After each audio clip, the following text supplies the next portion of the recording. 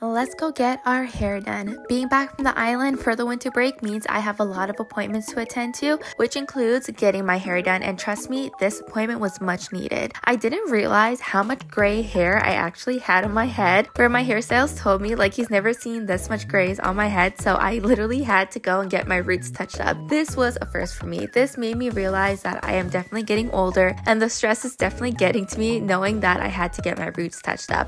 But I'm not complaining as long long as they get touched up, that's all that matters. So my hairstylist Ernesto did his magic and went to work. He took care of my roots for me. He cut my hair so nicely. I did have to get rid of a few inches because I had experienced a lot of hair loss while on the island, which can be due to the water, due to stress. So basically multiple factors contributed to my hair loss, especially as a medical student. This is actually quite common. I feel like no one talks about it. But on a more positive note, he blow dried, straightened my hair, and this was the final result. I absolutely loved it. My hair is super soft